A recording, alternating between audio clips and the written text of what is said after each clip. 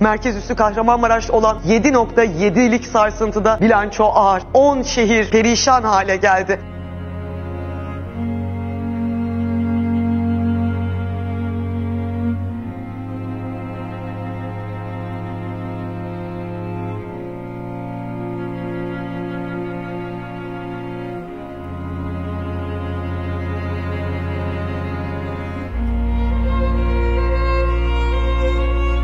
Ekranları başında gördüğünüz bütün insanlar neredeyse burada. 6 Şubat'ta Milyonlarca insanın etkilendiği bir deprem yaşadık. 14 milyona yakın insan doğrudan etkilendi. Deprem Türkiye'de 10 ili etkiledi. Ve 10 bine yakın bina yıkıldı. Çok zor bir durumdan geçiyoruz. Lütfen yardım etmeyi bırakmayın. ihtiyaç sahiplerine ulaştırmak üzere Babaların ofisindeyim.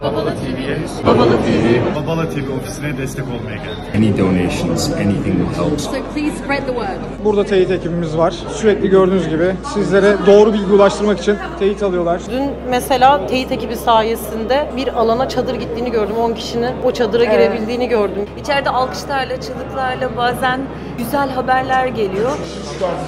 Üçü de yaşıyor.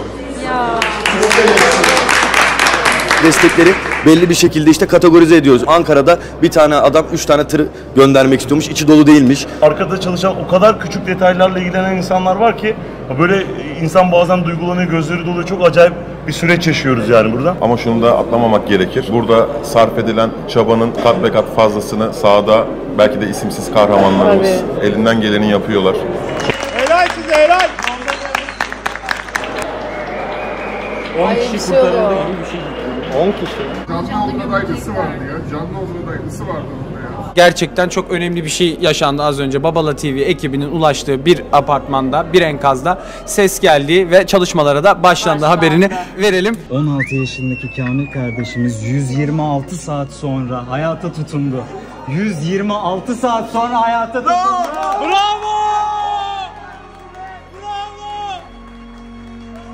Hepimiz yanındayız kuzum. Uykusuzluğun karşılığı bu değil kuzum. Herkes seni anlıyor, biliyor kuzum. Allah sizin gibi insanlardan çok razı olsun. O kadar çabana karşı kuzum. Yanındayız yavrum. Gerçekten çevremizdeki insanlar bizi o kadar bunaltmıştı Allah ki. hepimizin yardımcısı olsun. Kolaylık versin. Öpüyorum seni. İyi olan birinin olacağına hiç dünyada kaldığına inanmıyorduk. Ama sizlerin sayesinde gerçekten iyi insanların da var olduğunu gösterdiniz bile. Belki bu da bize bir ders olur. Kardeşim hakkımız sonuna kadar helal olsun. Siz de helal edin. İsmini saymadığımız çok sayıda arkadaşımız var orada. Babala TV ekibine, Oğuzhan Uğur'a çok teşekkür ederiz. Onlara bizden kucak dolusu selamlar iletin. Siz ismi olmayan kahramanlarsınız.